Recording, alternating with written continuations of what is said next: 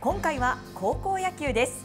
明日から各地区の秋季大会の優勝校が集う明治神宮大会が行われます。その中国地区代表今日は広島商業高校公式野球部をプレゼンします。勝負は1899年広島商業高校公式野球部。秋の中国大会では31年ぶりに優勝を果たし春の選抜出場を大きく手繰り寄せるとともに明治神宮大会の初出場を決めました。広商のね、えー、長い歴史の中で新しいページを築いてくれたっていうことはあのー、ね本当にすごいことだなと思って選手には感謝してます。昔から強いチームだと思うのでそのいい伝統っていうものをしっかり受け継いで広商らしい野球をしていきたいです創部は明治時代まで遡り春1回夏6回の甲子園優勝を誇る名門校です。まずはそんな今年のチームの戦力分析をしていきたいと思います。まずは今回の新チームピッチャー2枚看板の投手がいます。まずはストレートが武器右腕の大宗投手そして変化球が強みの左腕徳永投手。この2人を軸に中国大会のチーム防御率は1.75守りからリズムを作りました。そして伝統校の4番に座るのは期待の1年生です。名越選手中国大会決勝では先制ツーランホームランを含む4打数2安打3打点。伝統校の4番の大役1年生ながらこなしています。全国レベルの大会でどれぐらいこの新チームが活躍できるのか楽しみなんですが今日はそんな広商の強さの秘密に迫っていきたいと思います。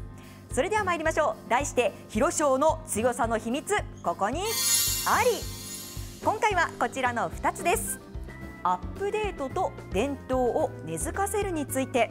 まずはアップデートについてなんですが名門広商野球部といえば精神野球。とも言われています。はい、かつてこんな練習もあったんです。真剣の刃渡りといって。有名ですよねこれね。永井先生もご存知ですか？知ってますよ、はい。ね、日本刀の上に素足で立たせてもうひたすら精神を徹底的に追い込むというそこから強さをどんどん引き出していくという練習だったんですがもちろんこれ今してません。ね、今してないですよね。はい、もちろん。昭和初期なのかな。大変なことになはい、もちろん今はしていないんですが、2005年以降この精神野球もなかなか結果が出ず。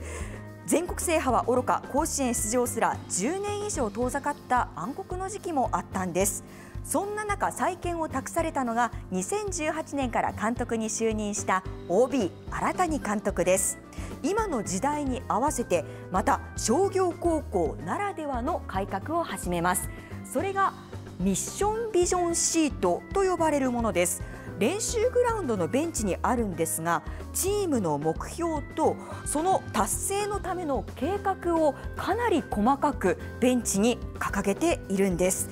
これ商業高校ならではの経営的な視点も取り入れていて例えばこの大きく目標を達成するためにどうしたらいいのか逆算していくこういった張り紙が多く貼られているんです。永井先生これ経営モデルのようですよね。うん。でもこれ目の前にいつもあると、はい、これやろうかなっていう気持ちになりますよね。そうですね、普段練習するベンチにそれが貼ってあるんです。またさらに一人一人が毎日野球日誌をつけているんです。こちらもただ感情を綴るだけではなくて目標やること課題次の練習に向けた改善点を整理しているんです。森さんこのように自らを振り返る、うん、まあ自主性を養うことにもつながっていきますよね。そうですよね。だから先ほどのねビジョンシートからつなげると、はい、やっぱり目標設定、実践、反省、改善。でもう一回あの目標設定してっていうのがこう本当あの事業の,、あの本当に大人が考える、はい、一連の行動ができてるってことですよね。これ将来にもつなげてほしいという願いもありまして、新たに監督えー、と指導教科が商業なんですね。で広島商業高校商業の授業もありますから、将来経営陣として立派な大人になってほしいという。これ監督がこうやって丸するんですか？これ監督とそうですね、コミュニケーション。その書いたものを監督が見てアドバイスを。花丸とか？それも一つコミュニケーションになっていきますよね。そう書かれるところによってえっと大宗投手ですね。課題や成果が明確になってより自分を高めるきっかけになったとも振り返っています。精神力を重んじながら今の時代に合わせてこのようにアップデートしているんです。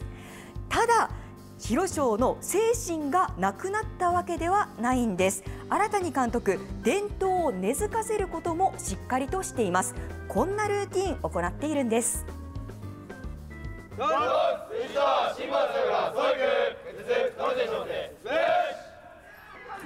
練習前に毎回唱えているのは古くからある野球部の心得新たに監督就任時から始めたこのルーティーン。その理由を聞きました。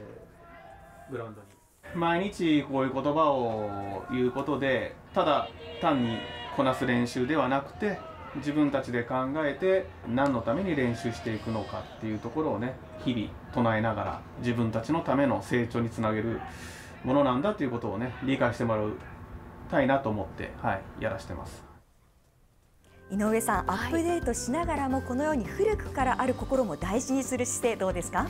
あの大切な言葉をその大きな声でこうみんなで発声することによってこれから野球やるぞっていう姿勢もあの準備できると思いますし、はい、新しいことをしながら伝統を大切にしているっていうのはやっぱ強さの秘密だなと感じました、はい、チームを改革しようとも精神力を重んじる方針は変わらない。広商の精神が完全になくなったわけではない。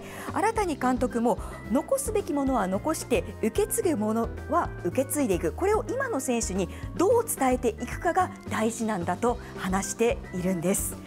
はい、新たな広商野球をまさに新チームがどんどん作っていく。それが新たな広商のスタイルになっていくということなんです。それでは最後にそんなチームの目標を見ていきましょう。大きな目標は夏の甲子園優勝です。そのために明日からの神宮大会は成長のための糧にしたいと意気込んでいます。